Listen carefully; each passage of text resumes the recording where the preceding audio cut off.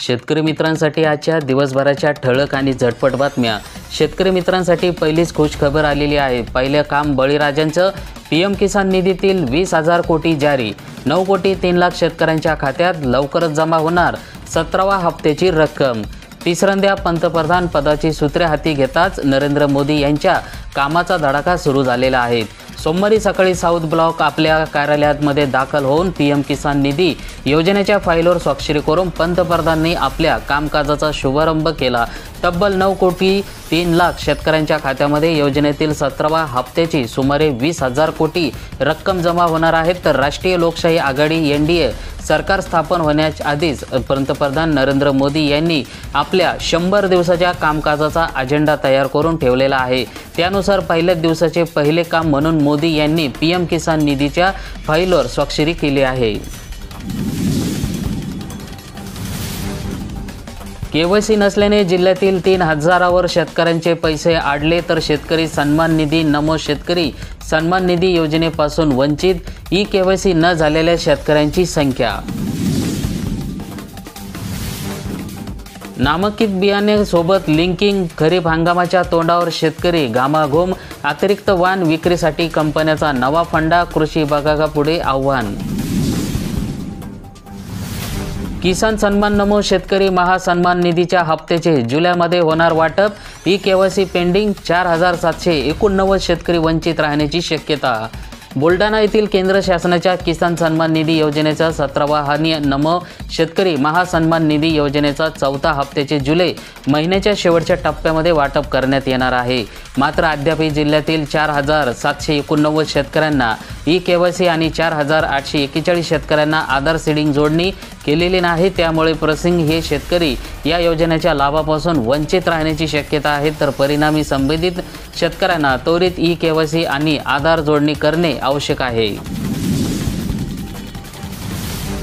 सोयगाव तालुक्यातील सव्वीस हजार शेतकऱ्यांना पीक विम्याची रक्कम जुलैमध्ये येणार.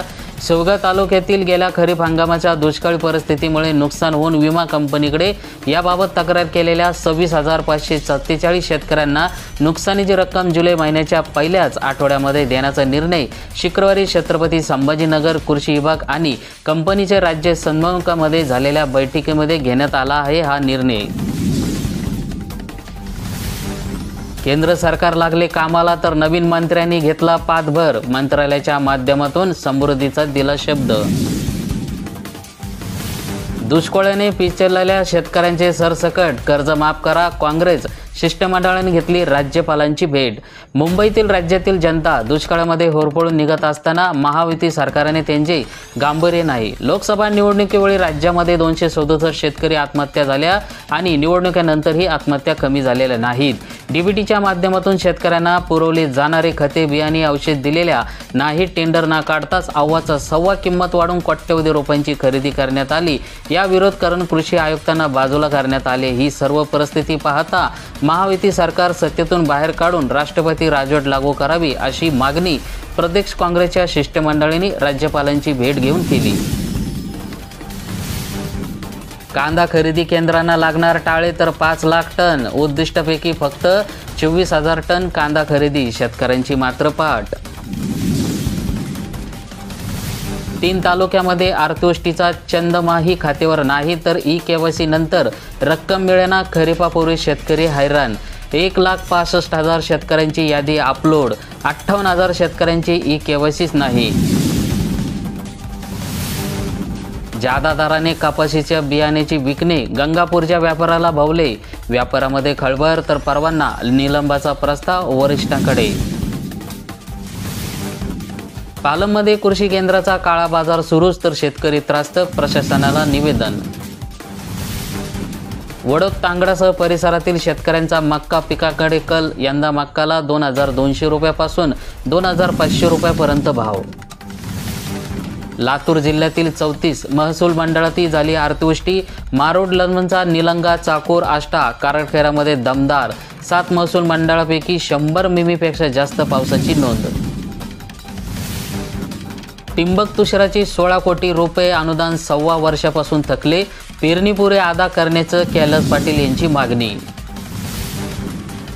चढ्यादाराने खते विक्री दुकानावर कारवाई करा तालुक्यातील कृषी केंद्र चालकाकडून चढ्या भावाने बी बियाणे खते विक्री करण्यात येत असल्याने त्यांच्यावर कायदेशीर कारवाई करण्यात यावी अशी मागणी शेतकऱ्यांना तालुका कृषी अधिकारी यांच्याकडे निवेदनद्वारे केली आहे. यंदा कापसाला चांगला भाव मिळेल अशी अपेक्षा शेवटपर्यंत शेतकऱ्यांना होती. मात्र जून महिन्यापर्यंत ही कापसाच्या भावामध्ये वाढ झाली नसल्याने अनेक महिन्यापासून घरात ठेवलेला कापूस शेतकऱ्यांना विक्रीस आणला आहे. तर निमशंकी या खाजगी बाजार समित्यामध्ये पाच लाख सदतीस हजार क्विंटल कापसाची खरेदी करण्यात आली. तीन दिवसात करा ई केवायसी अन्यथा विसरा सतरावा हप्ता. पंधरा जूनची हेडलाईन पी एम किसानच्या लाभार्थ्यापासून गाव पातळीवर विशेष मोहीम. अमरावतीतील जिल्ह्यामधील दोन पॉईंट शहात्तर लाख शेतकऱ्यांना पी एम किसान सन्मान योजनेचा लाभ मिळत आहे. मात्र असतानाही सहा हजार खातेदारांना बँक आधार लिंक व ई केवायसी केलेलीच नाही. महिनाभरामध्ये योजनेचा सतरावा हप्ता वितरित होण्याची शक्यता आहे. यासाठी पंधरा जूनपर्यंत डेडलाईन दिली आहे. अन्यथा या योजनेच्या लाभापासून वंचित राहावे लागण्याची शक्यता आहे. कर्ज देताना होतो सन्मान हप्ते थकल्यास करतात बदनाम. वसुलीसाठी गुंडाची जणू टोळीस तर वाहन जप्त करतात वेळ प्रसंगी धमक्याही देतात. श्रमिक कामगाराच्या कुटुंबांना सुद्धा मिळणार आता मोफत धान्याचा लाभ. जिल्ह्यामध्ये शहात्तर हजार आठशे पंच्याहत्तर तर बोदवड तालुक्यातील चार चारशे छत्तीस नोंदणीकृत श्रमिक कामगार. मान्सूनपूर्व पावसाची हजेरी तर खरीपेच्या कामांना लगबग खत बियाणे खरेदीसाठी होते आता गर्दी. यंदा सत्तेचाळीस हजारहून अधिक हेक्टर क्षेत्रावर राहणार धान आवत्या. खरीप हंगाम धानाचे एकूण क्षेत्र एक लाख त्र्याऐंशी हजार हेक्टर. पेरणी तोंडावर पीक कर्ज कधी मिळणार? तर कर्ज वाटपामध्ये व्यापारी बँका पिछडीवर. जिल्हा मध्यवर्ती बँकेने कर्ज वाटपामध्ये घेतली आघाडी. जिल्हा मध्यवर्तीकडून सदुसष्ट पॉईंट एकतीस टक्के कर्ज वाटप. गत वर्षीच्या खरीप पीक विमा भरपाईची शेतकऱ्यांना प्रतीक्षात. पीक विमा भरपाईचे निकष कोणते? तर बहात्तर तासांच्या आत केल्या होत्या तक्रारी. मागील वर्षी सोयाबीन पिकांच्या अतिवृष्टीचा फटका बसला तसेच सोयाबीनवर येलो मॉजेकचा प्रादुर्भाव झाला होता. सोयाबीन पिकांचे मोठ्या प्रमाणामध्ये नुकसान झाले होते त्यामुळे जास्तीत जास्त शेतकऱ्यांना पीक विमा भरला होता. मात्र एक वर्ष झाले तरी अद्यापही शेतकऱ्यांना पीक विमा मिळालाच नाही. तर पीक विमा भरपाईचे निकष तर कोणते? तर एकाच गावामध्ये सर्वच समान नुकसान झाल्यानंतरही काही शेतकऱ्यांना विमा मिळतो तर काही शेतकऱ्यांना मिळत नाही. त्यामुळे विमा कंपनी कोणते निकष लावून विमा देतात असा प्रश्न शेतकरी उपस्थित करीत आहेत. ज्यांना मिळाला आहे ते शेतकरी विमा का मिळाला नाही हा प्रश्नसुद्धा उपस्थित करीत आहेत. बहात्तर तासाच्या आत केल्या होत्या आम्ही तक्रारी. सोयाबीन पिकांच्या झालेल्या नुकसानीच्या शेतकऱ्यांना शेतामध्ये जाऊन मोबाईलवर प्रत्यक्षामध्ये तक्रारी केल्या होत्या. त्यावर विमा कंपनीचे प्रतिनिधींना पिकांची पाहणी करून शेतकऱ्यांकडून अहवाल भरून घेतला होता. मात्र विमा देण्यात अजूनही आला नाही.